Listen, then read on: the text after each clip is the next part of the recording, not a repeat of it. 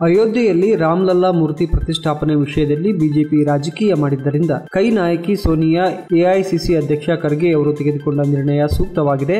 ಆದರೆ ರಾಜ್ಯದಲ್ಲಿ ಮೂರು ಡಿಸಿಎಂ ಹುದ್ದೆ ಸೃಷ್ಟಿಸುವ ಕುರಿತು ಎದ್ದಿರುವ ಗುಲ್ಲಿಗೆ ಹೈಕಮಾಂಡ್ ಸೂಕ್ತ ಸಮಯದಲ್ಲಿ ಹುದ್ದೆಗಳನ್ನು ಸೃಷ್ಟಿಸಿ ಪಕ್ಷದ ಬಲವರ್ಧನೆಗೆ ಮುಂದಾಗಲಿದೆ ಎಂದು ಕುಷ್ಟಗಿ ಕ್ಷೇತ್ರದ ಮಾಜಿ ಶಾಸಕ ಹಾಗೂ ಮಾಜಿ ಸಚಿವ ಅಮರೇಗೌಡ ಬಯ್ಯಾಪುರ್ ಹೇಳಿದರು.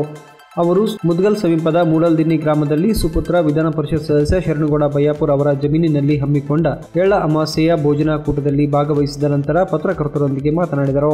ಅಯೋಧ್ಯೆಯ ರಾಮ ಮಂದಿರ ಮೂರ್ತಿ ಪ್ರತಿಷ್ಠಾಪನೆಯ ವಿಷಯದಲ್ಲಿ ಬಿಜೆಪಿಯವರು ಕೊನೆಯ ಗಳಿಗೆಯಲ್ಲಿ ಆಹ್ವಾನ ನೀಡುವ ಮೂಲಕ ರಾಜಕೀಯ ಮಾಡಿದ್ದರಿಂದ ಕಾಂಗ್ರೆಸ್ ಪಕ್ಷ ಕಾರ್ಯಕ್ರಮದಲ್ಲಿ ಭಾಗವಹಿಸದೇ ಇರುವುದಕ್ಕೆ ಕಾರಣವಾಗಿದೆ. ಹತ್ತೊಂಬತ್ತು ನೂರ ಎಂಬತ್ತೈದರಲ್ಲಿಯೇ ರಾಮದೇವರ ಪೂಜೆಗೆ ಅಂದಿನ ಪ್ರಧಾನಿ ರಾಜೀವ್ ಗಾಂಧಿ ಅವರು ಪೂಜೆ ಸಲ್ಲಿಸಲು ಅನುಮತಿ ನೀಡಲಾಗಿದೆ. ಜೊತೆಗೆ ಬಿಜೆಪಿಯಲ್ಲಿ ರಾಮ ಮಂದಿರದ ನಿರ್ಮಾಣಕ್ಕಾಗಿ ಹೋರಾಟ ಮಾಡಿದ ಆದ್ವಾನಿ ಜೋಶಿಯವರನ್ನ ಕಡೆಗಣಿಸಿ ಕೊನೆ ಗಳಿಗೆಯಲ್ಲಿ ಆಹ್ವಾನ ನೀಡಿ ಭಾಗವಹಿಸಬಾರದೆನ್ನುವ ನೆಪ ಮಾಡಿರುವುದು ಕ್ಷುಲ್ಲಕ ರಾಜಕಾರಣ ಮಾಡಲಾಗುತ್ತಿದೆ.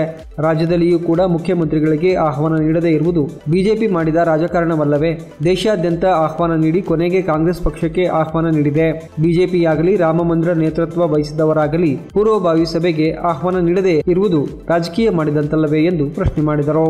ರಾಜ್ಯದಲ್ಲಿ ಮೂವರು ಡಿಸಿಎಂ ಸ್ಥಾನ ಸೃಷ್ಟಿಸುವುದು ಸೂಕ್ತವಾದುದು. ಆದರೆ ಕಾಂಗ್ರೆಸ್, ಹೈಕಮಾಂಡ್, ಸಮುದಾಯ ಮತ್ತು ಹಿರಿತನದ ಮೇಲೆ ನೀಡುವ ಮೂಲಕ ಪಕ್ಷದ ಬಲವರ್ಧನೆಗೆ ಆದ್ಯತೆ ನೀಡಲಾಗುತ್ತದೆ. ದಲಿತ ಸಿಎಂ ಕೂಗು ಇರುವುದು ಸತ್ಯ. ಸಮಯ ಬಂದಾಗ ಹೈಕಮಾಂಡ್ ಅದರ ಕುರಿತು ನಿರ್ಣಯ ತೆಗೆದುಕೊಳ್ಳಲಿದೆ. ಲಿಂಗಸೂಗುರು ಕ್ಷೇತ್ರದಲ್ಲಿ ಕಾಂಗ್ರೆಸ್ ಕವಲುದಾರಿಯಲ್ಲಿರುವುದು ಮತ್ತು ಭಿನ್ನಮತ ಇರುವುದು ಸಾಮಾನ್ಯ. ಪಕ್ಷದಲ್ಲಿ ಅಂತಹ ವಿಷಯದಲ್ಲಿ ಎಲ್ಲರನ್ನ ಒಂದುಗೂಡಿಸಿಕೊಂಡು ಹೋಗುವುದು ನಾಯಕನ ಕರ್ತವ್ಯ. ಪಕ್ಷ ಒಂದು ಜಾತಿಯ ಮೇಲೆ ಇಲ್ಲ. ಲಿಂಗಾಯತರನ್ನ ಕಡೆಗಣಿಸುವ ಪ್ರಶ್ನೆಯೇ ಉದ್ಭವಿಸುವುದಿಲ್ಲ. ಈಗ ಅವರಿಗೆ ಅಧಿಕಾರ ಹೋಗಿದ್ದರೂ ಪಕ್ಷದ ಬಲವರ್ಧನೆಗೆ ರಾಜ್ಯ ಮತ್ತು ಜಿಲ್ಲೆಯಲ್ಲಿ ಪಕ್ಷ ಸಂಘಟನೆಗೆ ಆದ್ಯತೆ ಕೊಡಬಹುದು ಎಂದರು. ಈ ದೇಶದಲ್ಲಿ ಅತ್ಯಂತ ದೊಡ್ಡ ಪಕ್ಷ ಕಾಂಗ್ರೆಸ್ ಪಕ್ಷ.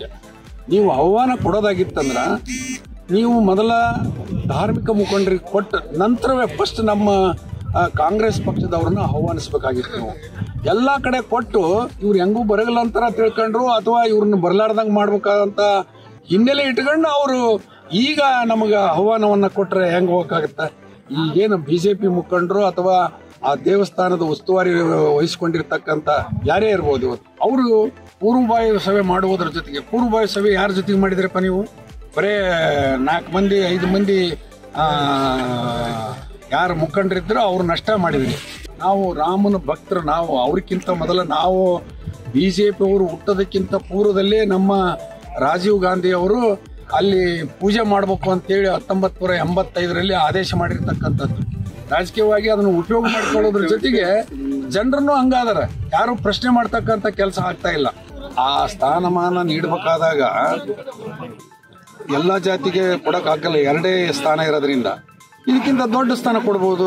ನಾಳೆ ಲಿಂಗಾಯತರಿಗೆ ಸ್ಟೇಟ್ ಲೆವೆಲ್ ಸೆಕ್ರೆಟರಿ ಮಾಡ್ಬೋದು. ಎಲ್ಲ ಸ್ಥಾನಮಾನಗಳನ್ನು ಕೊಡ್ತಕ್ಕಂಥದ್ದು ನಮ್ಮ ಹೈಕಮಾಂಡ್. ಇದೇ ವೇಳೆ ಕೊಪ್ಪಳ ಲೋಕಸಭೆಗೆ ನಾನು ಪಕ್ಷದ ಅಭ್ಯರ್ಥಿಯಾಗಲು ಆಕಾಂಕ್ಷಿಯಾಗಿದ್ದೇನೆ. ಪಕ್ಷ ಗುರುತಿಸಿ ಟಿಕೆಟ್ ನೀಡಿದರೆ ಸ್ಪರ್ಧೆ ಮಾಡುತ್ತೇನೆ. ಇಲ್ಲವಾದರೆ ಪಕ್ಷಕ್ಕಾಗಿ ದುಡಿಯುತ್ತೇನೆ ಎಂದರು.